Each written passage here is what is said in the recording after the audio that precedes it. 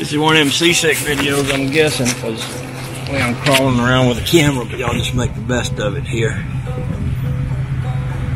Okay.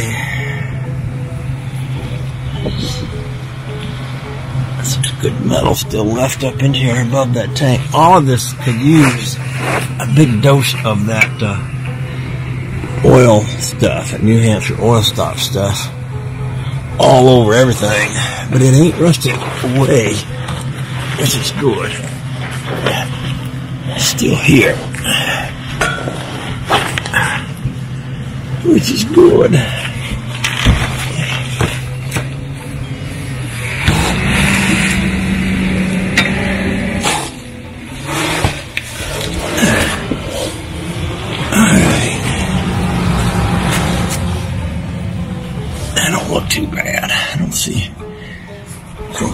Big holes in the floor or anything. So let's say that's all pretty good. Yeah, I think so. I think probably the best thing I could do would be to get this kind of up in the air and get under here with a, a gallon or two of that uh, New Hampshire oil stock. Squirt the daylights out of everything under here. Uh,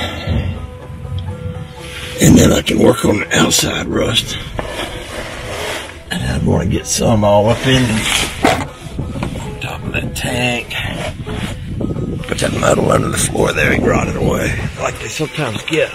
You get up here in Maine, you get used to seeing rusted out, rotted out. See, this is going to be the same thing here. It goes up underneath that, uh, plastic piece there. That plastic piece probably held salt inside of it. In fact, that's probably somebody's put a new one here. And they. Okay. Yeah, so there's a big hole here where the old one used to go, but that's open with that being open like that. Uh, at least it won't hold no water. It's not a bad thing. Uh, see out here, this is good. All this here, these spring mounts are good. I think that might be. What I want to do is pick me a day. Uh, pick me a day when it's not too cold or anything. See my floor. Oh, here's okay. Up under here. That's all okay. So, is like a hundred times better than that other Jeep that I work on. I see some signs of some oil leakage. But I'm not too surprised about that. For a Jeep engine this old had probably had a lot of care.